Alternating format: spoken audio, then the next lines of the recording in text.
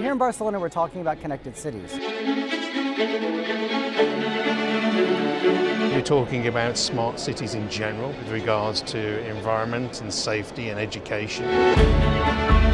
Our cities are full of data. Cars are an integral part of any smart city. When you think about the intersection between connected cars and city infrastructure, you start to get benefits for public safety, for mass transit, for emergency response. So there's a couple cars parked in the Microsoft booth. The conversation around urban mobility has increased vastly this year. Cars drive through cities.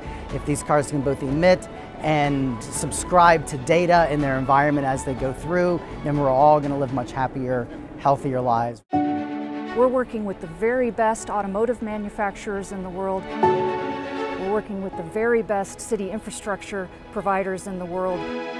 I don't think anyone else can bring them together the way that Microsoft can. Microsoft provides uh, one of the most powerful, flexible cloud-based platforms to do this. All built on the Azure platform is we've integrated. We have a partner ecosystem that no one else has. We can zoom right into the center of town. The city of the future, that light will turn green, it will turn red. There'll be algorithms that run and, and traffic lights won't be on timers anymore. They'll be connected to the flow of vehicles that are moving through them.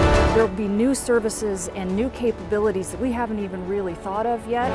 People being less stressed, people being more productive, and cities running much more efficiently.